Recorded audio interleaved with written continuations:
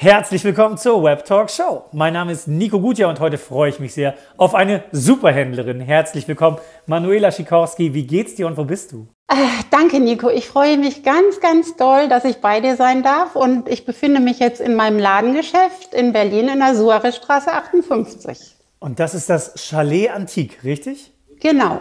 Das ist hast, das Chalet Antique. Du hast zwei davon, ne? Ja. Ich habe einen Hauptladen, da befinde ich mich jetzt. Und dann habe ich noch in der Suarezstraße 62 einen zweiten Laden. Ähm, den führe ich ähnlich, ein bisschen anders. Ja, aber hat natürlich auch meinen Touch. Und seit über 30 Jahren hast du das Geschäft schon, ne? Mhm.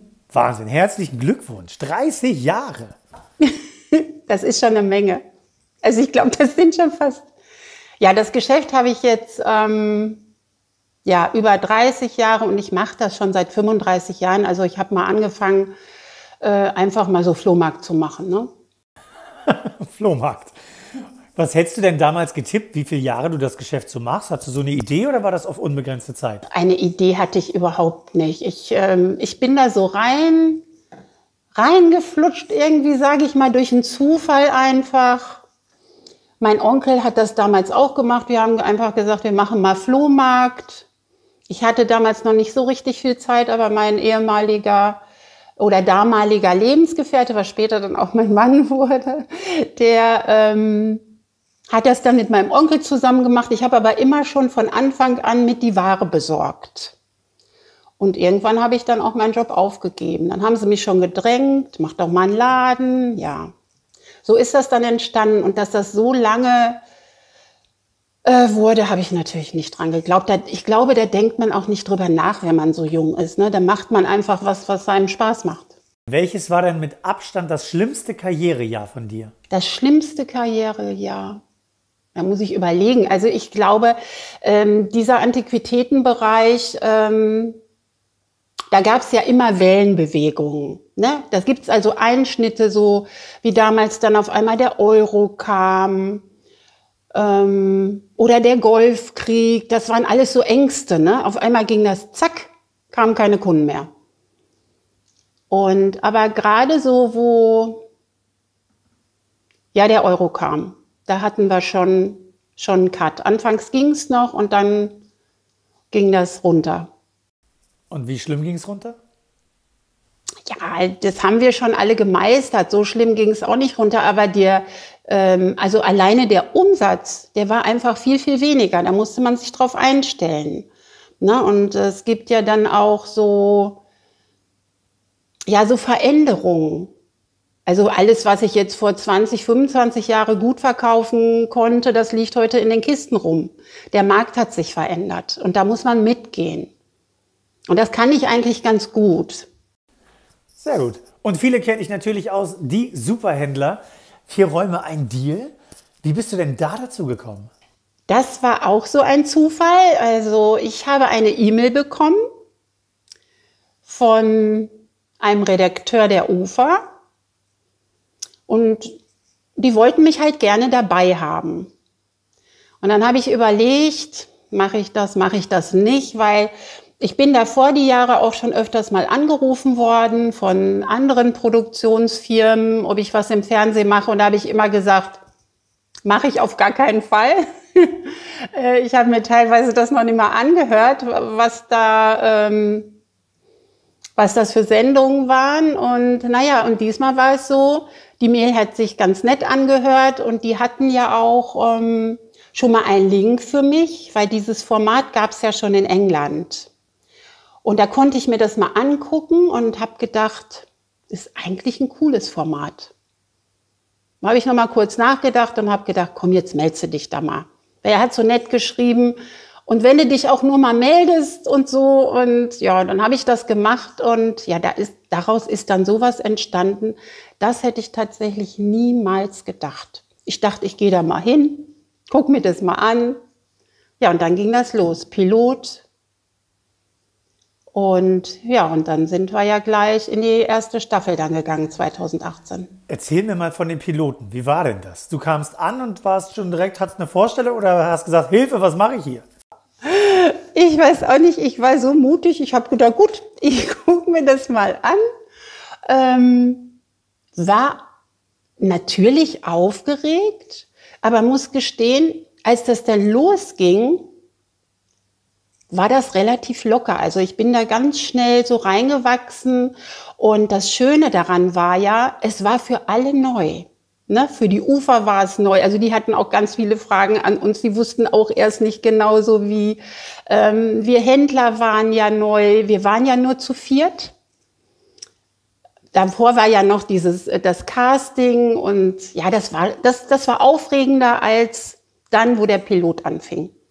Ähm, als du bei den Superhändlern angefangen hast, hast du dir selber gesagt, okay, ich gebe nur so und so viel Geld aus oder hast du gesagt, pff, mal gucken, wie viel gebraucht wird? Nein, ich habe mir natürlich keine Summe gesetzt, was ich jetzt ausgebe. Das macht man auch immer so abhängig davon, was äh, für Ware angeboten wird. Und anfangs beim Piloten waren das auch noch nicht so teure Objekte. Also da ging das eigentlich noch. Und auch wenn ich also jetzt dabei bin, da gibt es dann Situationen, auch wenn teure Sachen kommen, wenn ich die haben will, dann will ich die einfach haben und da mache ich mir keinen Kopf drum. Dann will ich sie einfach kaufen. Was war denn der höchste Preis, den du bisher gezahlt hast und wofür? Hm, der höchste Preis, ja, so hohe Sachen haben wir gar nicht, aber ich glaube 1800 Euro. Also mehr nicht. Das sind schon mal so oder 2000 Euro. Und das andere habe ich halt nicht bekommen. Und weißt du noch, wofür du das ausgegeben hast? Ähm, ja, einmal habe ich, nee, das letzte habe ich für ähm, von Bell, oh, jetzt von Mel Ramos ähm, drei Lithografien ausgegeben, 1800 Euro. Und hast du die schon weiterverkauft oder hast du die privat irgendwo hingestellt? Die habe ich mir erstmal privat gesichert. Das ist auch noch nicht lange her. Also ich habe die noch nicht lange. Und wahrscheinlich werde ich sie auch behalten. Und wie läuft das ab, wenn du das gekauft hast äh, und das wird im Fernsehen ausgestrahlt? Kommen dann ganz viele Leute und sagen, hey Manu, wir wollen genau das und das haben oder passiert das gar nicht? Gibt es da gar keine Resonanz in der Form? Doch, das gibt es schon. Also die Leute äh, mailen mich entweder an oder über WhatsApp oder telefonieren mit mir und fragen dann natürlich, was es kostet. Sie haben Interesse. Doch, das kommt schon vor. Also bei interessanten Sachen kommt es immer vor. Und hebst du denn die Sachen nach dem Dreh dann direkt auf oder ist das dann Glück, wenn es noch da ist? Es kommt drauf an, was das für eine Ware ist. Es gibt halt Sachen, erstmal bleiben die Sachen natürlich auch noch in Köln, bis die dann bei mir in Berlin sind. Das dauert ja noch ein Weilchen. So, und wenn ich irgendwelche Sachen selber so spannend finde, die bleiben dann erstmal bei mir. Entweder schafft es dann irgendjemand, mich doch zu überzeugen, das zu verkaufen, oder ich mache es einfach nicht. Also manche Sachen behalte ich. Und weißt du grob ungefähr, wie viel Geld du bei den Superhändlern bisher ausgegeben hast, so insgesamt? Das weiß ich nicht. Eine Menge. Ich müsste es eigentlich mal zusammenzählen, weil ein Kollege, der hat das mal gemacht und da habe ich bald einen Schock gekriegt. Und ähm, ja, nee, das habe ich einfach noch nicht gemacht. Also ich gebe schon eine Menge da aus, klar. Würdest du dir auch wünschen, dass noch mehr als eine Frau pro Folge da ist? Oder gibt es mittlerweile schon Folgen, bei denen noch mal zwei Frauen oder drei da sind? Mittlerweile haben wir ja tatsächlich Folgen, wo schon mal drei Frauen zusammen sind. Ja, das ist die Ausnahme. Oder manchmal sind wir auch zwei. Wir sind ja mittlerweile viel, viel mehr. Wir waren ja, äh, also anfangs in der ersten Staffel war ich ja die einzige Frau und auch die drei Männer, die dabei waren. Das war ja so, äh, so eine Crew, die sollte auch erst viel, viel länger bleiben, aber das ging dann auch nicht. Also ich habe dann auch eine kleine Pause mal gemacht, weil die erste Staffel habe ich ja komplett durchgedreht. Das war ja, ging ja über Monate und ich konnte mich ja gar nicht mehr um meinen Laden richtig kümmern. Und da habe ich auch gesagt, das kann ich nicht leisten, das geht einfach nicht. Und mittlerweile sind wir Gott sei Dank genug Leute auch. Es kann ja auch mal jemand krank werden. Ne? Kann ja alles mal passieren und dann braucht man ja Ersatz. Und in der ersten Staffel haben wir auch gar keinen Ersatz gehabt. Und du bist aber ja nach der kurzen Pause in der zweiten Staffel zurückgekehrt. Ja. Ich habe das ja auch angesagt. Also ich habe die, die, nee, die zweite Staffel habe ich ausgesetzt Erst wollte ich nicht die ganze aussetzen, habe es dann aber doch gemacht, weil ich einfach diese Zeit brauchte für meine ganzen Geschichten. Und dann bin ich halt in der dritten Staffel wieder eingestiegen. Und was hatte sich dann in deinem Leben geändert? Weil du bist ja seitdem bist du ja da. Hast du irgendwas anders gemanagt oder war es leichter? Es ist jetzt natürlich viel, viel mehr zu tun. Ja, also das ist schon so eine Doppelgeschichte. Wenn ich äh, dann hier nicht im Laden bin und dann drehe, das läuft ja alles parallel. Ja, auch wenn ich hier jemanden dann drin habe, der mich dann irgendwie oder diejenige, die mich da irgendwie unterstützt, aber ich drehe dann ja meistens von Montag bis Freitag. Dann setze ich mich in den Flieger, dann bin ich Freitagabend wieder zurück. Samstag früh bin ich hier im Laden, weil Samstag ist für mich ein ganz, ganz wichtiger Tag. Und dann wissen die Leute auch, ah, dann ist sie ja wieder da. Und dann bin ich meistens bis abends noch beschäftigt im Geschäft. Ich muss ja auch meine Buchführung und alles noch machen und Sonntag packe ich dann wieder. Ne? Und dann sitze ich wieder im Flieger. Das klingt nach einem straffen Programm. Wie sieht denn so ein Drehtag aus bei den Superhändlern? Wann kommst du an und was passiert dann so nach und nach? Ähm, ja, ich werde immer um 7.10 Uhr abgeholt von, von unserem Fahrer. Dann gehe ich in die Maske. Ich bin natürlich als Frau dann die Erste da. Und dann sitze ich immer eine gute Stunde in der Maske. Danach ist ähm, dann halt Kostüm, dann ziehe ich mich um, ja, und dann haben wir Regiebesprechung und dann geht's auch schon los. Und das ist ziemlich durchgetaktet, muss ich sagen. Also wir haben da keine große Pause. Wie viele Objekte seht ihr denn an einem Tag? Wir haben meistens so zwischen fünf und sieben Objekte, obwohl sieben sind schon hart. Also da sind wir alle nicht glücklich drüber. Wir sehen schon immer zu, dass wir nur sechs haben. Also das geht, ist noch in Ordnung. Aber sieben ist dann schon heftig. Da kann sich auch kaum noch einer konzentrieren dann abends. Und jetzt ist es ja so, wer die Show noch nicht kennen sollte, da kommt ein Mensch und der hat ein Stück, äh, was er verkaufen möchte oder sie. Und ihr seht das alle einmal, dann geht ihr in die jeweiligen Räume und dann geht die Kandidatin oder der Kandidat nach und nach mit Glück manchmal sogar durch alle Räume. So, wie muss ich mir das denn vorstellen? Ihr seid alle draußen, jetzt gehst du rein. Wie viel Zeit vergeht denn da teilweise, bis dann dieser Mensch mal bei dir landet? Wenn du nicht der erste oder zweite Raum bist. Das kommt drauf an, wie der Mensch dann die Reihenfolge gelegt hat. Erst muss ich ja reingehen und ähm, mir dann ganz schnell überlegen, was schreibe ich jetzt auf die Tafel. Also das ist das Erste, was ich dann mache. Mm, dann, ja, dann schreibe ich schnell was auf die Tafel, leg die weg, meine Kopfhörer ins Ohr und dann warte ich halt. Ne? Wenn ich als Erste dran bin, dann geht das ja ziemlich schnell. Wenn ich erst ähm, dann als Vierte gesetzt werde, dann braucht das schon mal eine Weile. Und dann kommt es darauf an, wie die Verhandlungen in anderen Räumen waren. Ne? Manche quatschten ja auch gerne lange. dann kann das schon mal was dauern. Aber meistens geht es relativ zügig.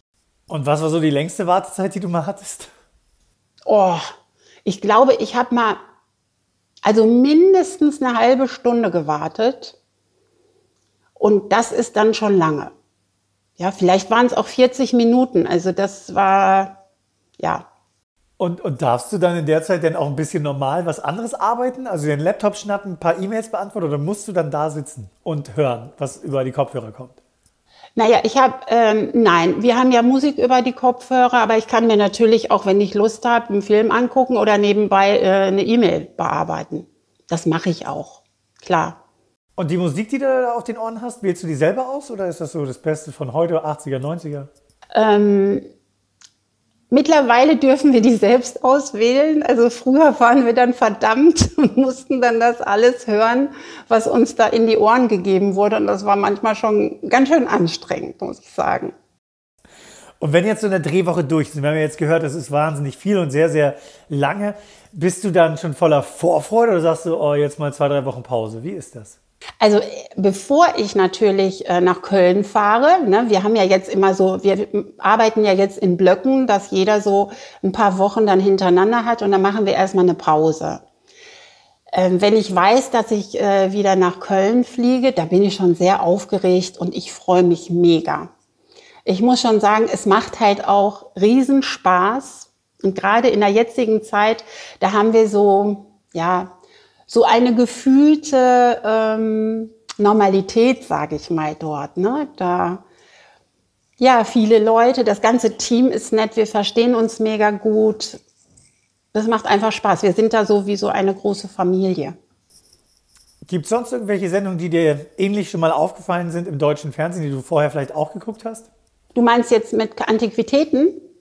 Genau. Ja, natürlich. Natürlich kenne ich auch Bares für Rares. Logisch. Ähm, das kannte ich ja auch vorher schon. Und hm, ja, ich weiß nicht, sonst gibt es da wohl auch noch einige. Da habe ich auch schon mal so reingeflitscht. Aber das ist natürlich das bekannteste Bares für Rares. Und ihr wurdet ja sicherlich auch schon häufig verglichen. Ähm, wie siehst du das?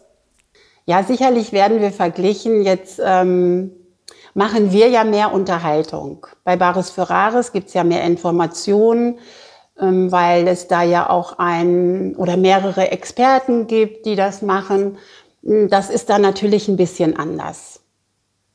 Es ist ähnlich, aber man kann es nicht so richtig vergleichen. Und der eine sieht dieses lieber, der andere das. Und es sind auch ganz, ganz viele Zuschauer, die beides gerne gucken. Es ist noch nicht lange her, da stand äh, bei Shugri ein riesiges Rentier mit einer roten Nase. Was hast du denn gedacht, als du das gesehen hast? Also dieses Rentier, dieses Riesenvieh, ich fand das schon cool. Ich habe ja auch mitgeboten, ich habe es ja dann nicht gekriegt, aber so traurig muss ich gestehen, war ich dann auch nicht hinterher, weil ich dachte, man, wo sollst du das hinstellen? Ja, das wäre dann natürlich eine coole Dekoration für Weihnachten jetzt gewesen. Aber so im Laden, das hätte das hier schon gesprengt, muss ich sagen, ja. Wenn man das draußen hinstellt, ist es natürlich cool. Und die Dame kam rein und äh, sie wollte 1000 Euro, glaube ich, von dir haben. Ich glaube, du bist fast vom Stuhl gerutscht, hast gesagt, nee, das auf gar, auf gar keinen Fall.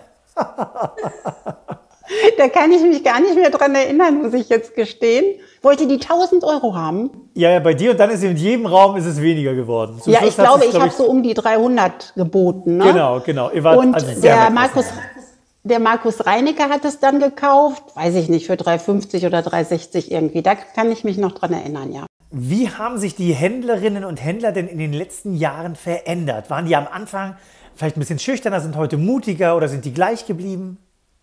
Natürlich haben sich die Händler verändert. Ne? Das war also anfangs, als wir angefangen hatten, äh, ja, waren die natürlich alle noch nicht so mutig und auch ruhiger. Und so hat sich jeder für sich verändert. Also ich weiß nicht, ob ich mich so groß verändert habe, kann ich jetzt nicht so sagen. Hm, auf jeden Fall bin ich grundsätzlich schon eine Person, die bleibt immer schön auf dem Boden. Und wie haben sich die Verkäufer und Verkäuferinnen verändert? Naja, es gibt jetzt halt schon, ähm, ja, die Verkäufer und Verkäuferinnen, ich weiß nicht, ob die sich so viel verändert haben es sind halt andere dabei. Es kommen ja immer mehr, mehr dazu und sehr oft auch sehr witzig oder manche kommen ja öfters zu uns. Die sind dann natürlich schon fitter. Ne? Die trauen sich auch schon mehr, die wissen besser, wie sie uns zu nehmen haben. Ja. Und wie lange hast du Lust, noch Superhändlerin zu bleiben oder ist da für dich Aufhören gar keine Option? Also aufhören ist wirklich keine Option, weil es macht mir sehr, sehr viel Spaß, egal wie anstrengend das ist. Hm, nein, aufhören möchte ich nicht. Und Fernsehen mache ich sowieso mittlerweile gerne. Das hätte ich nie gedacht, dass mir das so viel Spaß macht. Und wenn jetzt, sagen wir mal, ein neues Antiquitätenformat kommt und die sagen, Mensch, Manuela, wir hätten dich so gerne dabei, so, so gerne. Und du müsstest dafür aber bei den Superhändlern aufhören. Was würdest du sagen? Boah, das kann ich jetzt echt nicht sagen. Aber also das müsste aus. das ja dann schon so übertreffen, aber das ist ja auch ein Risiko. Ne? Hier weiß ich, was ich habe. Und so bin ich dann auch. Da sage ich mir, hier weiß ich, was ich habe, da weiß ich nicht, was ich bekomme. Und wir sind froh, dass du dabei bist bei Die Superhändler, vier Räume, ein Deal. Manuela Schikorski, vielen Dank für deinen Besuch in der Web Talk Show. Ja, ich danke auch. War schön. Fand ich auch. Und du hast jetzt noch eine unglaubliche Möglichkeit. Du darfst in deine Kamera sagen, was du noch nie in eine Kamera dieser Welt gesagt hast, aber schon immer mal unbedingt sagen wolltest. Ich bin sehr gespannt, was das gleich sein wird. Für euch da draußen gilt, die Welt kann ein wundervoller Ort sein. Es gibt aber so viel zu tun. Packen wir es an. Bis zum nächsten Mal. So, ja, was soll ich sagen? Also, was ich ganz toll finde, dass durch unsere Formate, also unseres und auch andere Formate, dass da so junge Leute rangeführt werden, die das von zu Hause gar nicht kennen oder wo die nicht rangeführt wurden an Antiquitäten und die jetzt da mega Spaß dran haben und Interesse. Und das finde ich klasse.